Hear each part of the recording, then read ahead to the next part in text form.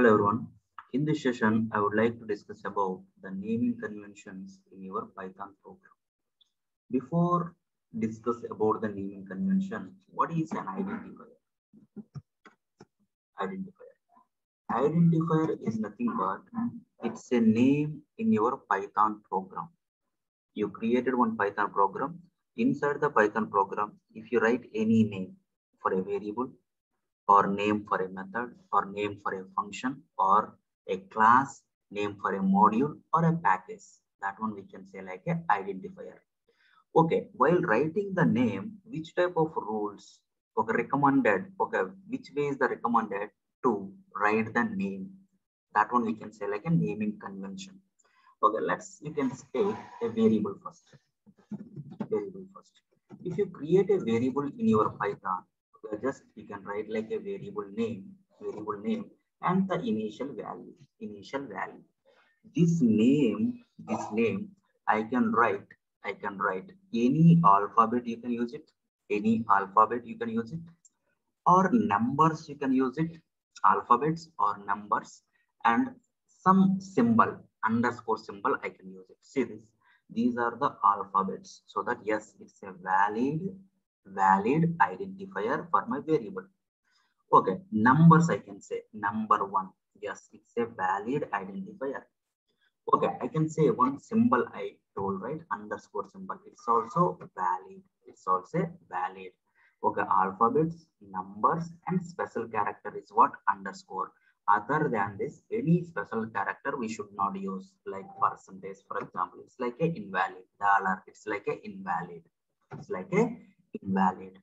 Okay, and one more thing, my identifier name should not starts with a digit, should not starts with a digit.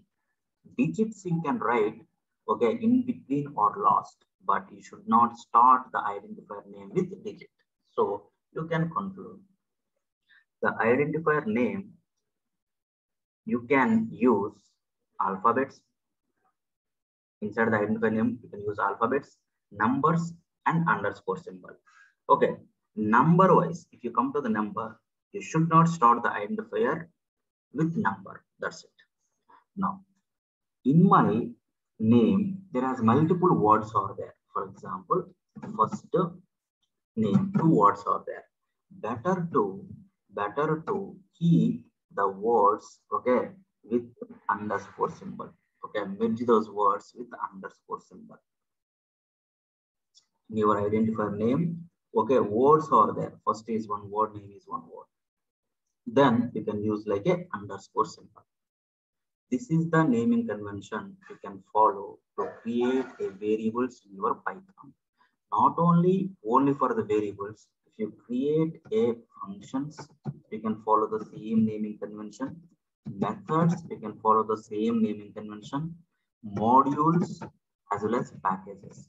Don't ask what is module what is function what is variable. I will discuss all these things. Now our focus is like just which naming convention how you want me to create the names.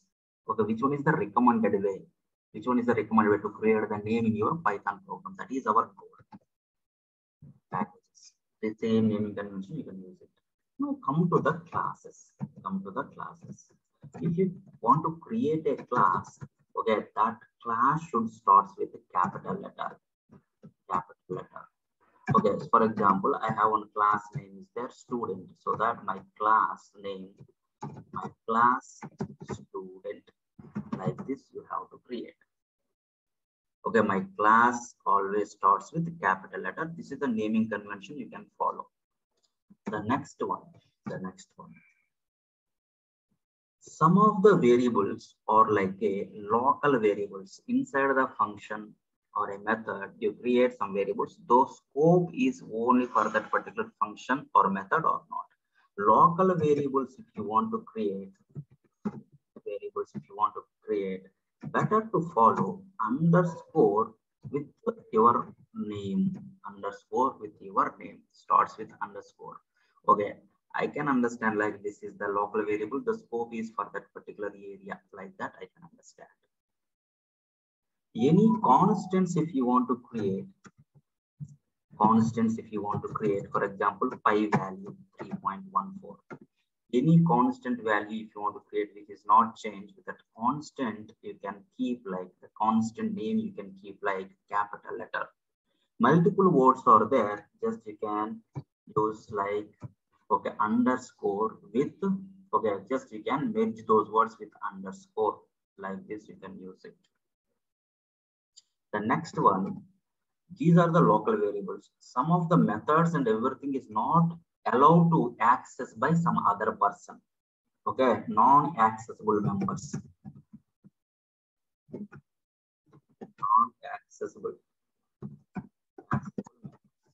Okay, that type of okay, that type of numbers, that type of numbers you can represent by using underscore underscore symbol underscore underscore sorry underscore underscore symbol most of the times you can find these things only in your python program. Variables functions methods modules packages class local variables constants non-accessible numbers.